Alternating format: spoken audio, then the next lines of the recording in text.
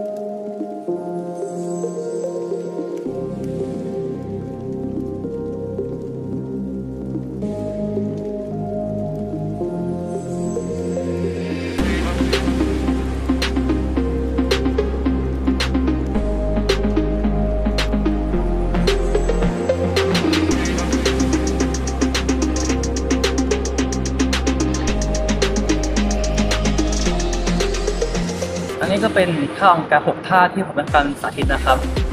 ถ้าเกิดว่าชอบกันก็ลองไปทำตามกันได้นะครับตอนนี้ก็ขอบคุณที่รับชมนะครับขอบคุณครับสวัสดีครับบาย